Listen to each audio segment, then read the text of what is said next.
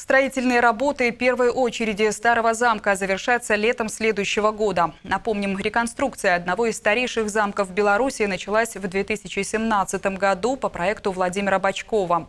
Планируется воссоздать замок времен Стефана Батория 16 столетия. Пока все идет согласно графику, в начале июня, когда в Гродно будет проходить фестиваль национальных культур, планируется завершить общестроительные работы на въездной башне, каменице, галерее, средней башне, мирной избе.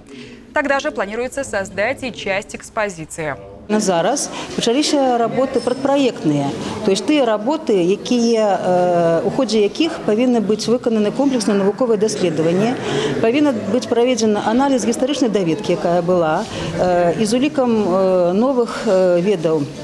э, новых э, ведаў у гістарычнай навуцы абноўлена актуальна будуць выкананы наружныя зандажы унутраныя зандажы для чаго і вызваляецца экспазіцыі ад э, залы ад музейнай экспазіцыі будуць э, выкананы археалагічныя даследаванні для того каб зняць э, скажем тыя пытанні якія ўзнікаюць сёння В проект уже не раз вносились правки, объективные и исторически доказанные факты, уточнения, предложения специалистов рассматриваются специальной комиссией.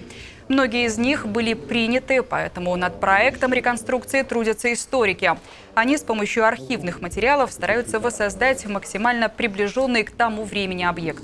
19 стагоддзя мы уже маем конкретныя планы звязаныя з перабудовамі замка і уже адштурхоўваючыся ад іх э, можам э, рухацца ўглыб там 18 стагоддзя 17 нават крыху ну і гэта просто можа быць важна для того як